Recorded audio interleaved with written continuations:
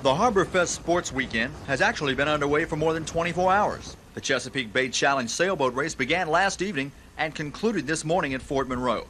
125 vessels made the trek up the bay despite the lack of significant wind. Now, the most popular participant sports event is the 10,000 meter Pepsi Challenge Run. That is scheduled to take place tomorrow morning and is expected to attract 2,000 runners. On Sunday, things will get rolling bright and early as the cyclists will answer a 7:30 a.m. starting call for the Harborfest bike race. Later in the day, the sports focus will shift back to the water. Catamarans will race from 11 a.m. until 1:30 p.m. Canoes will get their turn from 11 until noon.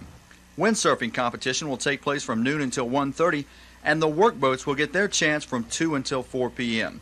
And just to make sure no one gets left out, organizers have even scheduled a tug of war.